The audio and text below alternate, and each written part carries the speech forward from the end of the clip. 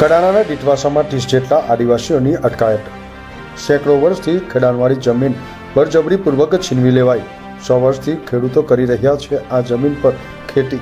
ત્રણ વર્ષની રજૂઆતો બાદ પણ આદિવાસીઓની વાત સાંભળવા તૈયાર નથી અધિકારીઓ. સત્તર જેટલા ખાતેદારો અને તેમના કુટુંબીજનો કરી રહ્યા છે સીએસસી સેન્ટરના બાંધકામનો વિરોધ. અધિકારીઓ નિયમો અને રજૂઆતોને નેવે મૂકી કરી રહ્યા છે આદિવાસીને અન્યાય. ગ્રામ પંચાયતે ઠરાવ કરી જમીન અન્ય જગ્યાએ ફાળવી હોવા છતાંય ગ્રામ પંચાયતને પણ સાંભળવા તૈયાર નથી. હાઈકોર્ટે અગાઉનો કલેક્ટરનો હુકમ રદ કરી ખાતેદારોને સાંભળવા આપ્યો હતો આદેશ.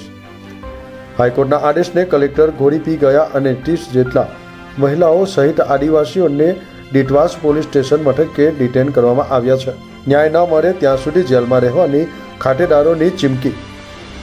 જમીલા દિવાનો રિપોર્ટ ન્યૂઝ ટુડે મહીસાગર. આજરોજ વિશ્વાસ સરકારી દવાખાનામાં બાંધવા માટે અમારી જમીનમાં સરકારી તંત્ર દ્વારા જે ઓર્ડર કર્યો છે, એ જમીન સો વર્ષથી અમે ખેડીએ છીએ. અને એ બાબતે વારંવાર રજૂઆતો કરવા છતાં કલેક્ટર સાહેબ અન્ય જગ્યાએ દવાખાનું બાંધવાની અમારી વિનંતીને માન્ય નથી રાખી.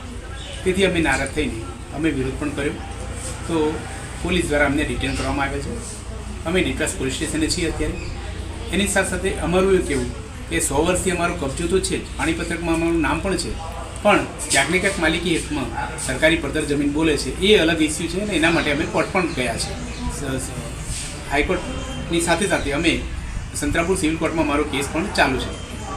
સાથે સાથે અમે મુખ્ય વાત એ કે આદિવાસી વિસ્તારનું કામ છે પાંચી અનુસૂચિત વિસ્તારનું કામ છે અને આદિવાસી તરીકે જે ડિટવાસ ગ્રામસભા આદિવાસી વિસ્તારની ગ્રામસભાએ ઠરાવ પણ કર્યો છે કે ડિટવાસ ગ્રામસભા આ જે દવાખાનું છે, એ અન્ય જગ્યાએ ખુલ્લી જગ્યામાં બાંધવામાં આવે. સરકારી બીજી ખુલ્લી જગ્યા છે, સરકારી પડતર જમીન પણ છે, ત્યાં બાંધવામાં આવે એવું લેખિત ઠરાવ પણ અમે કલેક્ટર સાહેબને મોકલેલો છે.